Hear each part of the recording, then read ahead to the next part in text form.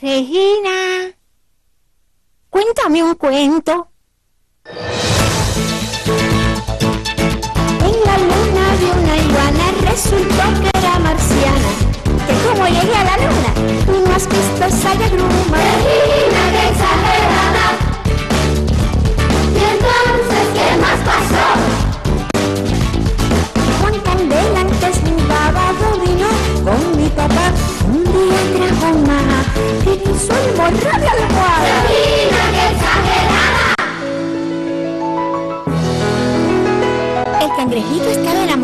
las alturas y soñaba con volar. Pero enseguida aparecieron los criticones. ¡Bájate de ahí, muchacho! Cuando se ha visto, cuando se ha visto por los cielos un marisco,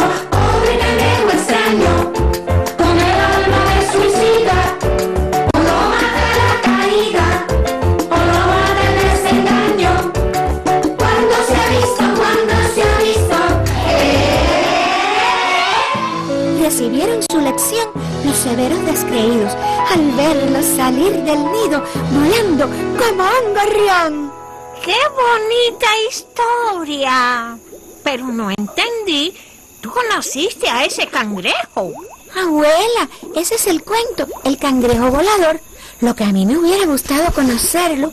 Y como Lucía, la cangreja amiga mía, me dijo que ahora tiene un novio que soñaba con volar, pensé que a lo mejor era el mismo. ¡Uy!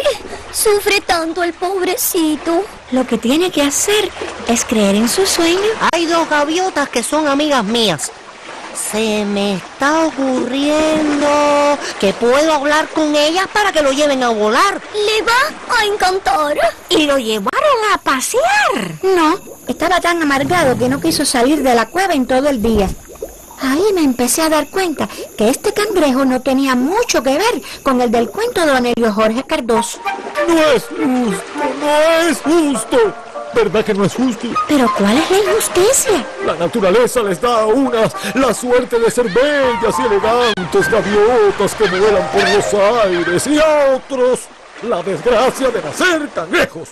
Toscos cangrejos que andamos por el suelo con nuestras feas tenazas. ¿A usted? ¿A usted qué le gustaría ser? A mí me gusta ser lo que soy. Ah, claro, porque no es un cangrejo. Usted es Filiberto. El mismo. Mm, ya me lo imaginaba.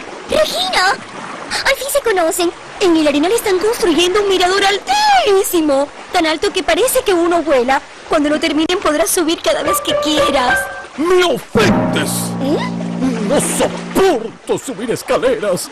Me recuerdan que no tengo alas. El cangrejo volador empezó subiéndose a una mata. Alguien dijo que quiero ser cangrejo volador. Un cangrejo con alas. ¡Patético! Creo que aquí está el hombre.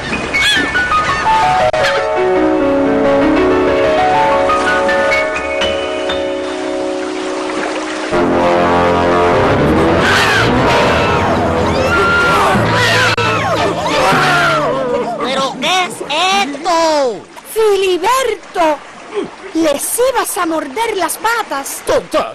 ¿Para qué quieren las patas si pueden volar? Malagradecido. No te conozco. Me enamoré del cangrejo equivocado. Pero no ves que vinieron a burlarse de mí. No venían a burlarse, venían a llevarte a volar con ellas, porque yo se los pedí. Ah, sí. Otro de los inconvenientes de ser inferior. Si fuera gaviota, no tendría tan malos pensamientos.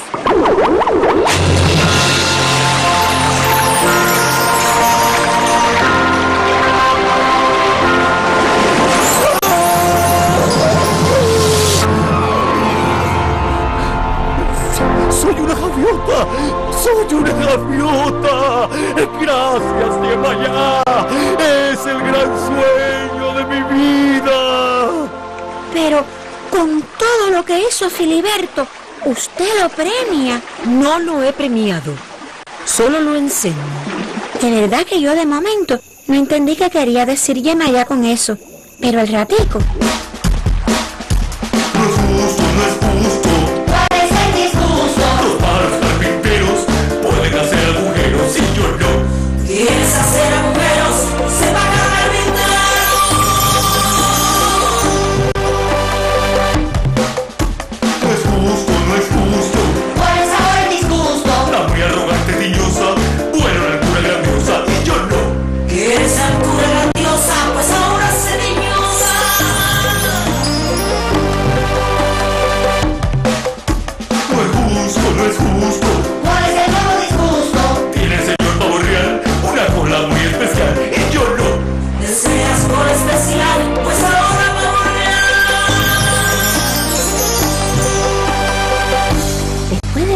siguió con mamíferos, reptiles, peces y hasta con insectos.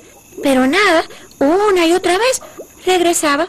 No es justo, no es justo, no es justo. ¿Qué es lo injusto ahora, Filiberto? Que los demás estén muy felices disfrutando de sus vidas, mientras yo tengo que cambiar de especie a cada momento.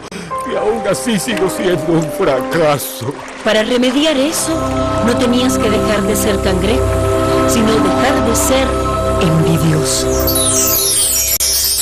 Desde ese día, Filiberto está tratando de mejorarse y creo que poco a poco lo va logrando. Ayer mismo lo vi con Lucía subiendo al mirador nuevo.